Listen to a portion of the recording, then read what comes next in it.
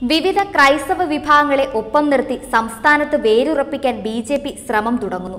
Pala bishop Mar Joseph Kallarangatt നടത്തിയ narcotic ജിഹാദ് പരാമർശത്തിന് പിന്നാലെ ക്രൈസ്തവ സഭകൾക്ക് ബി ജെ പി നൽകിയ പിന്തുണ സജീവ രാഷ്ട്രീയ ചർച്ചയായി മാറിയിരുന്നു.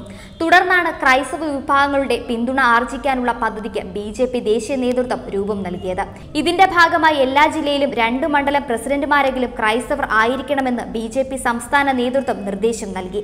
മറ്റു ഭാരവാഹികളുടെ പട്ടികയിലും ക്രൈസ്തവർക്ക് ആനുപാതിക പ്രാതിനിധ്യം ഉണ്ടാകും.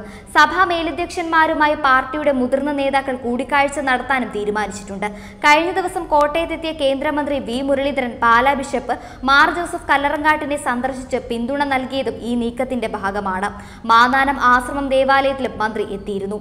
കുറച്ചു മുമ്പ് വരെ കേരളത്തിലെ ന്യൂനപക്ഷ രാഷ്ട്രീയം ഒരു മുന്നണിയെ മാത്രം കേന്ദ്രീകരിച്ചാണ് മുന്നോട്ട് പോയിരുന്നത്.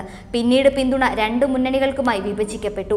എന്നാൽ ചില മതവിഭാഗങ്ങളോടുള്ള മുന്നണിയുടെ പ്രീണനത്തിൽ മുതലെടുക്കാനാണ് ബി ജെ പി ശ്രമിക്കുന്നത്. പക്ഷേ അതത്ര പെട്ടെന്നൊന്നും നടക്കില്ലെന്ന് ബി ജെ പിക്ക് നന്നായി അറിയുകയും ചെയ്യാം. കേരളത്തിലെ ക്രൈസ്തവ വിഭാഗങ്ങളുടെ ഇടയിലേക്ക് ബി ജെ പി കടന്നുകയറുന്നത് തങ്ങളുടെ വോട്ട് ബാങ്കിനെ ബാധിക്കുമെന്ന് ഇടതു വലതു മുന്നണികൾക്ക് വ്യക്തമായി അറിയാം.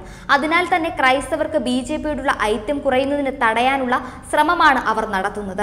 നാർക്കോട്ടി ജിഹാദ് വിഷയത്തിൽ മുന്നണിയുടെ അഭിപ്രായത്തിൽ നിന്നും വ്യത്യസ്തമായ അഭിപ്രായം സ്വീകരിച്ചപ്പോൾ തടയിടാൻ ശ്രമിക്കാതിരുന്നതും ഇതിന്റെ ഭാഗമായാണ്.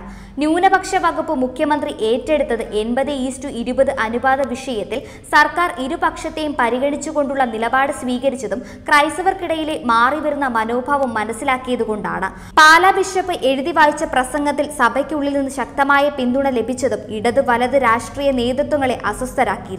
ഇതാണ് ബി അനുകൂല രാഷ്ട്രീയ സാഹചര്യമൊരുക്കാൻ ശ്രമിക്കുന്നതും മനപ്പായസം ഉണ്ണുന്നതും.